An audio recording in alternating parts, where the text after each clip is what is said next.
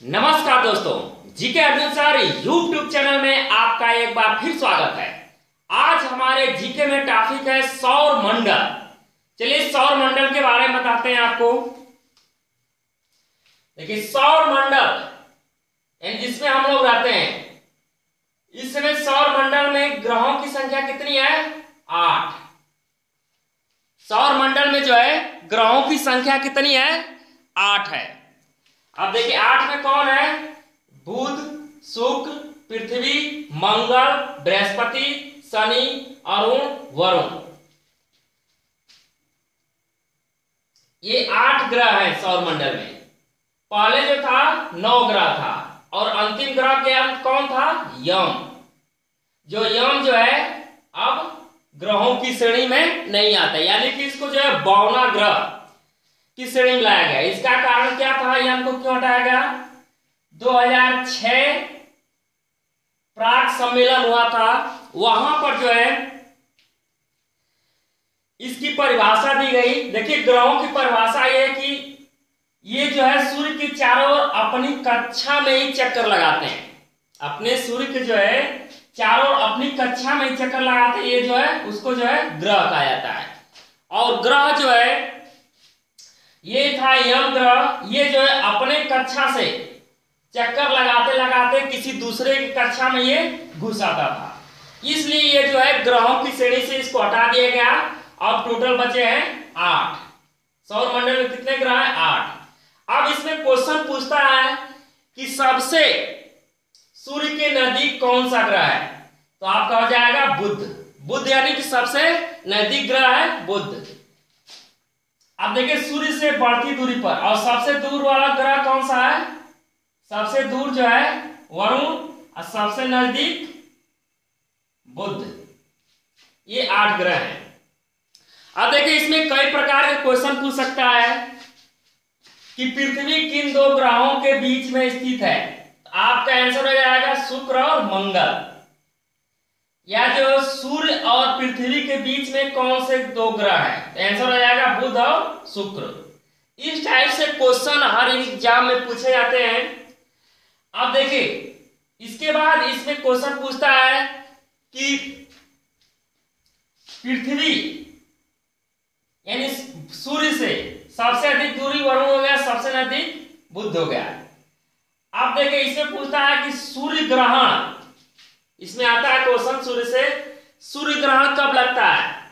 तो इसमें देखिए सौर मंडल में सूर्य ग्रहण यानी सूर्य और पृथ्वी के बीच में सूर्य ग्रहण कब लगता है? जब पृथ्वी और सूर्य के बीच में चंद्रमा आ जाता है तो सूर्य ग्रहण लगता है। कि सूर्य का प्रकाश चंद्रमा पर जाता है और पृथ्वी पर नहीं पड़ पाता है। और इसी तरह चंद्र ग्रहण क्या है? जब पृथ्वी और सूर्य के बीच में जो है, चंद्रमा आ जाती है। तो ये जो है सूर्य ग्रहण कहलाता है। अब देखिए, इसमें ग्रहों की संख्या पूछता है कि किसके उपग्रह सबसे अधिक है। अब देखिए, बुध का कोई उपग्रह नहीं है, शुक्र का कोई उपग्रह नहीं है। यानी आठ ग्रहों में ये दो ऐसे ग्रह हैं, जिनका जो है कोई उपग्रह नहीं है। इसके अलावा पृथ्वी का उपग्रह जो है, ये उपग्रह है, पृथ्वी का उपग्रह एक है चंद्रमा, मंगल का दो उपग्रह है, बृहस्पति का सड़सठ उपग्रह है, शनि का बासठ उपग्रह है, अरुण का जो है सत्ताईस उपग्रह है और वरुण का चौदह उपग्रह। तो इसमें क्वेश्चन पूछता है आपके एग्ज़ाम्स में कि किस ग्रह के सबसे अधिक उपग्रह है? उपग्रह तो बृहस्पति का सबसे अधिक उपग्रह है। अब इसे पूछता है कि सबसे बड़ा ग्रह कौन सा है? तो सबसे बड़ा ग्रह ये हो जाएगा आपका बृहस्पति। और सबसे छोटा ग्रह क्या होगा? ये हो जाएगा आपका बुद्ध यानी सबसे बड़ा ग्रह या भारी ग्रह बृहस्पति है और सबसे छोटा ग्रह बुद्ध सबसे कम समय में कौन चक्कर लगाता है? यानी बुद्ध, सूर्य की परिक्रमा सबसे कम समय में कौन लेता है? बुद्ध। कितने दिन में? इसका एग्जैक्ट है सत्तासी दशमलव नौ छ दिन। या आपका इसका आंसर देगा कहेंगे किताबों में अट्ठासी दिन में। और सबसे अधिक दिन में, यानी जो सबसे दूर होगा, सबसे अधिक दिन में चक्कर लाएगा तो कौन है? वरुण। कितना है एक सौ छियालीस दशमलव नौ वर्ष। एक सौ छियालीस दशमलव नौ वर्ष ये जो है समय लेता है। आप देखिए, इसमें जो है एक सौ छियालीस दशमलव नौ वर्ष में जो है ये समय लेता है।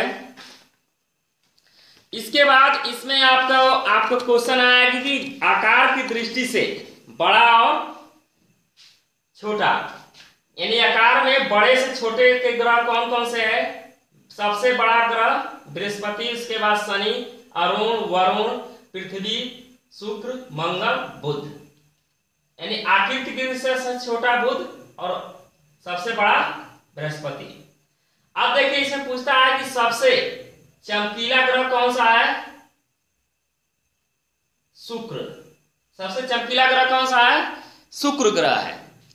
अब शुक्र ग्रह को जो है साँझ का तारा, भोर का तारा, सायंकाल का तारा के नाम से भी जाना जाता है। ये थे आपके सौर मंडल। उम्मीद करते हैं कि ये वीडियो आपको पसंद आया होगा। पसंद आया इसको लाइक कर दीजिए। हाँ जिस फ्रेंड अभी तक मेरा channel GK Arjun sir YouTube पर सब्सक्राइब नहीं किया, उसको सब्सक्राइब कर दीजिए। सब्सक्राइब करने का कोई चैनल बिल्कुल फ्री है। धन्यवाद।